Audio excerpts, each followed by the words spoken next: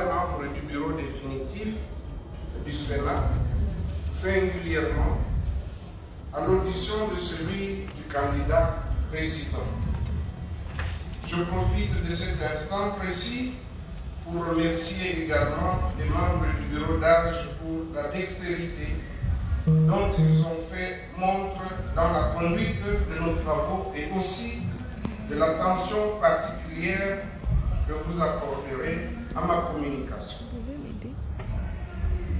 D'emblée, qu'il me soit permis de rendre les hommages les plus différents à son Excellence, Monsieur le Président de la République, chef de l'État, Félix Antoine Tshisekedi Chilombo, pour avoir, sans détour, tenu compte des aspirations de notre population lors des différentes consultations qu'il a menées de main de maître et dont il a eu l'honneur de restituer les conclusions dans son discours désormais historique du 6 décembre 2020.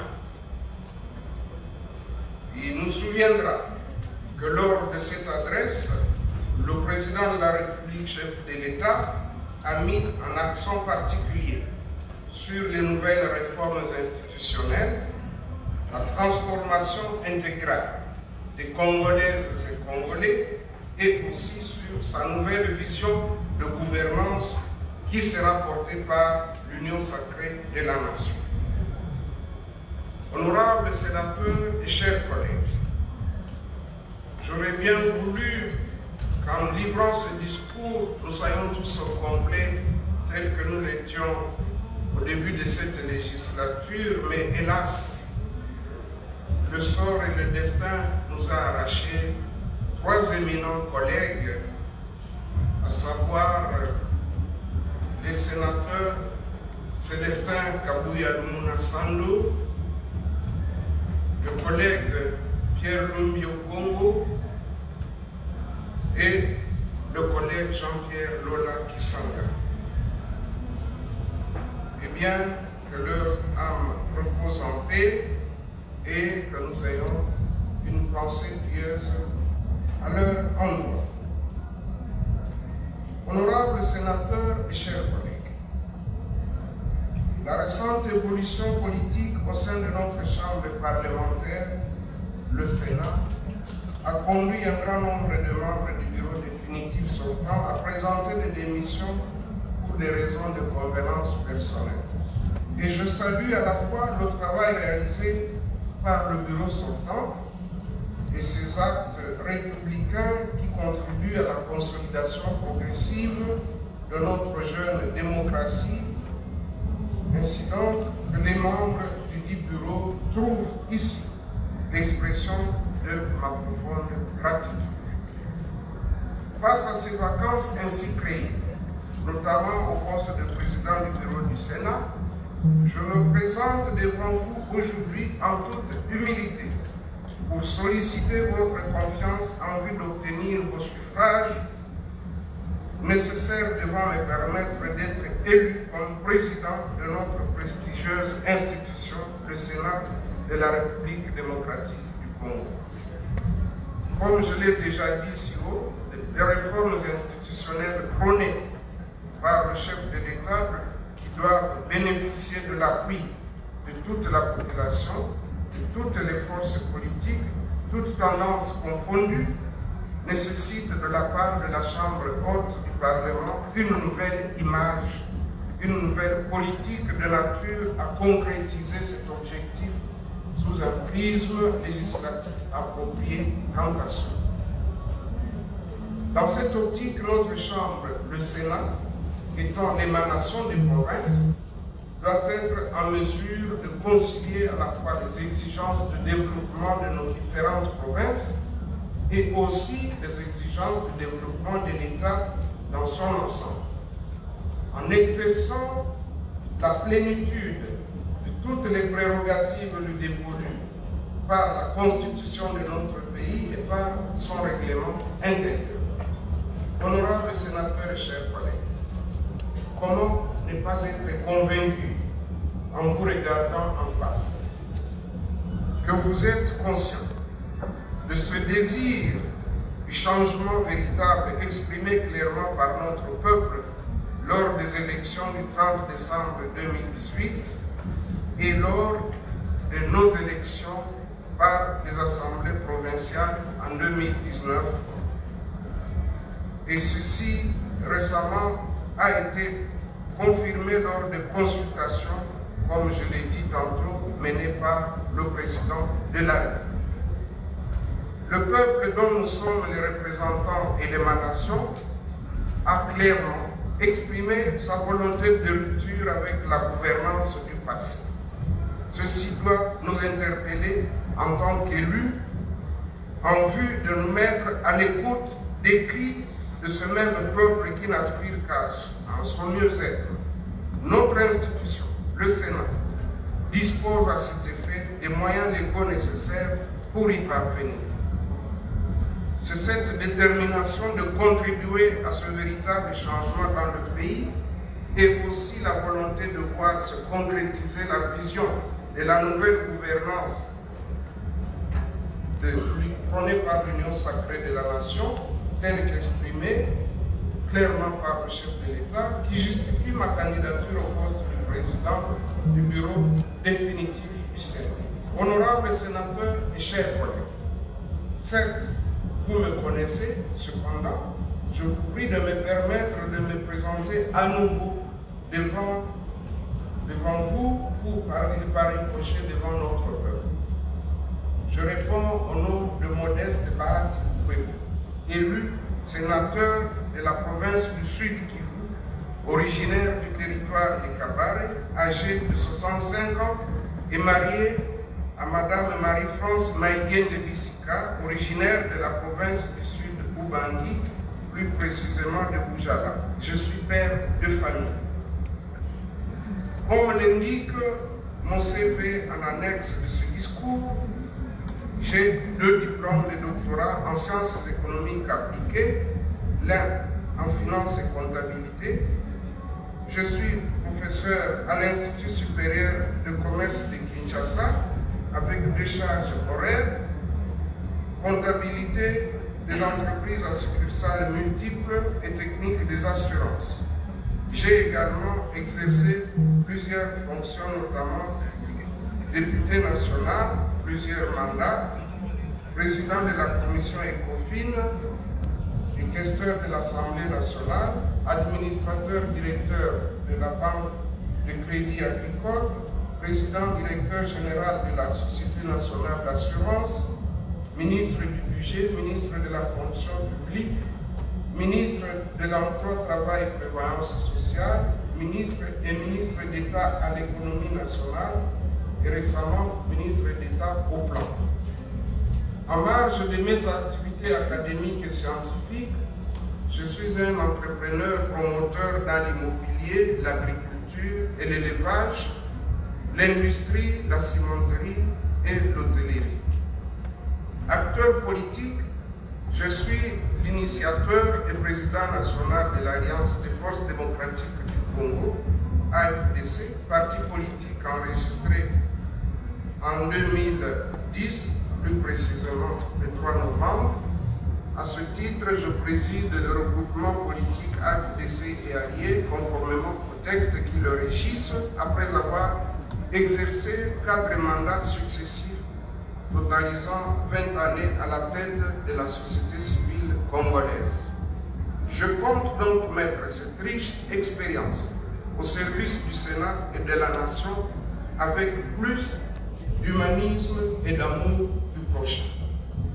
Honorables sénateurs et chers collègues, l'objectif que je poursuis en postulant au poste de président du bureau définitif du Sénat est celui de la recherche des voies et moyens en vue de la transformation sociale de notre pays, de doter le pays des instruments juridiques nécessaires pour concourir au mieux-être de la population et à l'amélioration de la gouvernance publique de notre pays.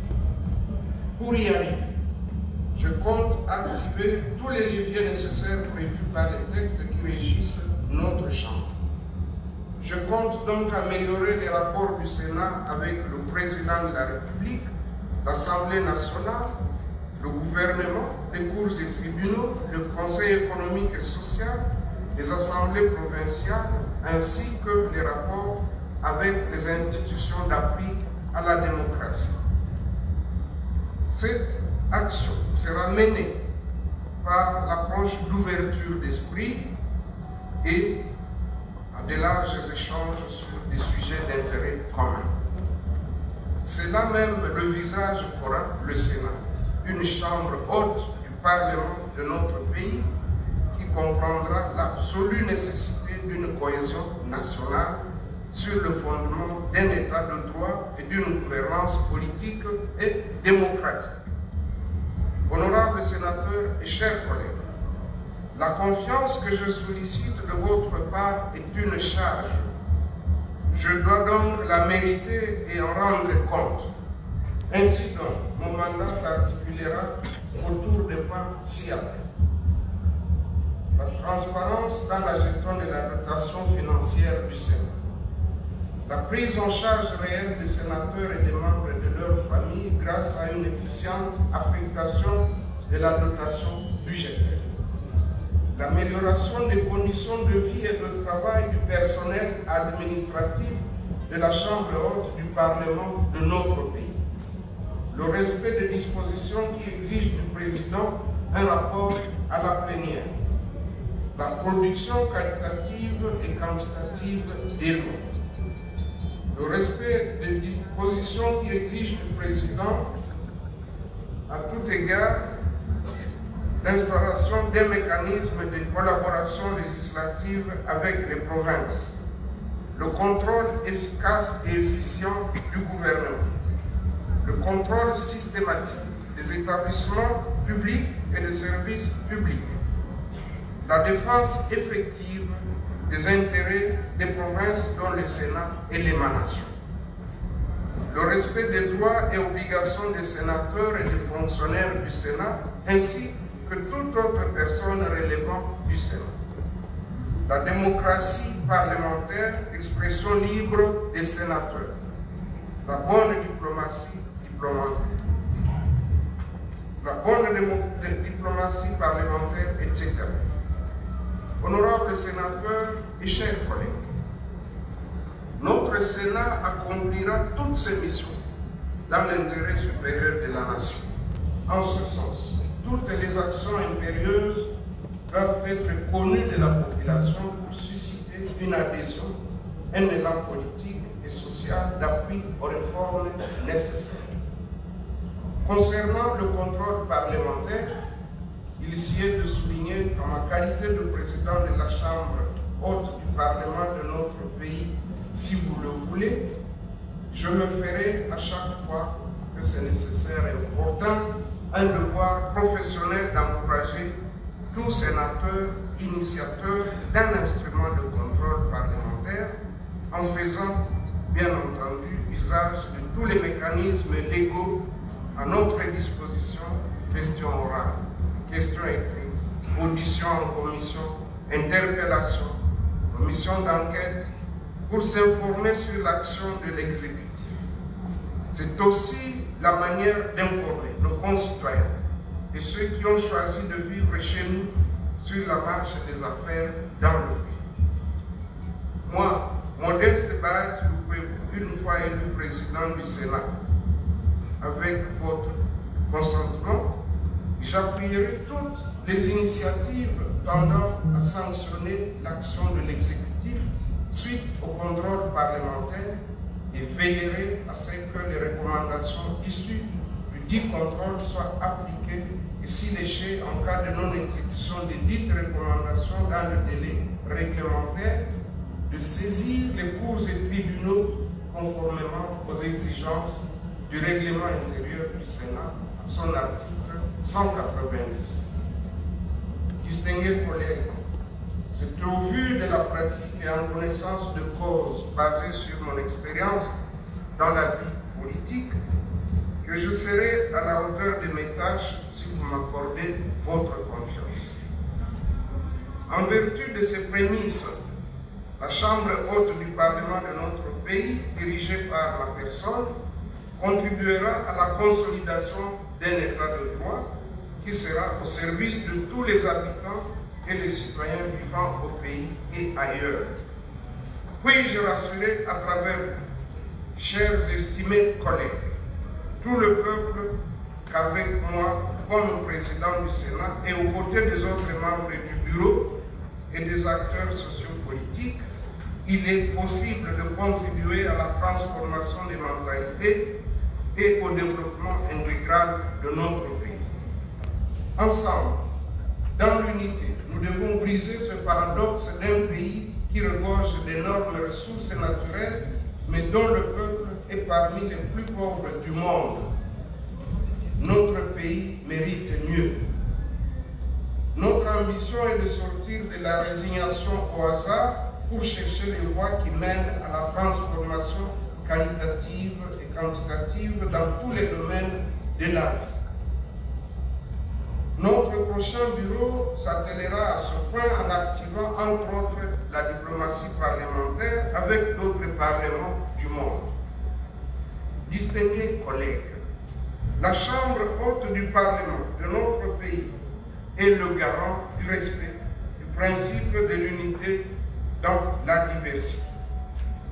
C'est le trait d'union entre les provinces les entités territoriales décentralisées et le gouvernement central. Elle est appelée à établir et à maintenir les relations permanentes avec la base pour contribuer au développement des collectivités locales dont elle est l'émanation. La Chambre haute de la République joue le rôle de creuser et de garant de la décentralisation et le sénateur, celui d'artisans du développement durable de nos différentes provinces et des entités territoriales décentralisées. Outre légiférer, notre Chambre est appelée à contrôler le gouvernement, les sociétés d'État, les établissements et les services publics. À ce propos, les us et coutumes parlementaires ont institué un troisième domaine dénommé la diplomatie parlementaire. Elle prend part aux assises des organisations interparlementaires en préservant et en défendant les intérêts de nos populations. Durant notre mandat, nous allons faire jouer à notre Sénat un rôle important au niveau sous-régional, régional et international. Un accent particulier sera également mis pour assurer le développement des provinces. Des innovations, nous avons l'ambition d'assurer une grande visibilité de notre Sénat à l'Union interparlementaire et à l'Organisation internationale des parlements des États souverains, etc. L'objectif principal est de nouer de solides liens avec des collègues du monde partageant les vues communes. Il est temps que la Chambre haute du Parlement de la RDC s'engage dans des débats clés sur la politique internationale et la globalisation. Partant, je vous annonce d'ores et déjà que je vais élaborer un programme d'études des fonctionnaires parlementaires de la RDC. Le dit programme va permettre à nos fonctionnaires de prendre part et discuter des services de procédure, d'administration et de recherche offerts aux parlementaires à travers le monde. Ce programme entre dans le cadre de la diplomatie parlementaire en action. L'idée est de partager notre expérience parlementaire et nous enrichir de l'expérience des autres participants étrangers. Ainsi, nous pensons que le moment est venu d'apporter quelques réformes, notamment la régionalisation du fonds d'entretien routier FONER, assorti d'un financement équilibré grâce à la péréquation. La dotation budgétaire spéciale aux provinces sous forme de plan Marshall en vue de leur permettre de se doter des routes, des infrastructures, de l'eau et de l'électricité, des officines sanitaires et des écoles viables et équipées. L'érection de la cité parlementaire en vue de doter chaque parlementaire d'un bureau de travail grâce à la coopération internationale. Le paiement régulier et à date fixe des émoluments des sénateurs et des salaires des administratifs par voie bancaire grâce à un montage financier moins coûteux. La dotation des moyens de transport, l'équipement et la modernisation des outils de travail administratif, la mutualisation de l'assurance maladie pour les sénateurs, le personnel et les membres de leur famille. Et comme vous le savez, avec la pandémie de coronavirus, ceci interpelle tout responsable à quelque niveau que ce soit pour que nous réalisions qu'avant toute chose, il faut une bonne santé. Et rien ne peut se réaliser si on n'est pas en bonne santé. La formation cyclique du personnel du Sénat. Honorable président du bureau d'âge, honorable membre du bureau d'âge, honorables sénateurs et distingués collègues, pour clore mon propos, je voudrais rappeler utilement que certaines questions liées au bon fonctionnement du Sénat, au développement de la nation, feront continuellement l'objet de concertations avec les acteurs et les secteurs concernés. L'heure a sonné pour notre Chambre, sous ma présidence, si vous le voulez bien, de se préoccuper résolument à apporter des réponses idoines aux aspirations de notre peuple, au développement de la nation tout entière, à la consolidation de la démocratie. Je vous prie donc de m'accorder vos suffrages en vue de diriger notre prestigieuse institution. Que vive le peuple congolais, que le bon Dieu puissant bénisse le Sénat et la République démocratique du Congo. Et de tout cœur, je vous remercie.